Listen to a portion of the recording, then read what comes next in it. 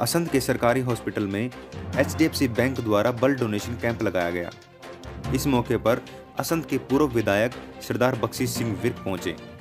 उन्होंने दीप प्रज्वलित करके और साथ ही रिबन काटकर कार्यक्रम को आगे बढ़ाया। इस मौके पर उन्होंने लोगों को संदेश दिया कि हम सभी को अपने जीवन में ब्लड डोनेट करना चाहिए। साथ ही इस प्रकार के कार्यक्रमों में हमें बढ़ चढ़कर भाग लेना चाहिए।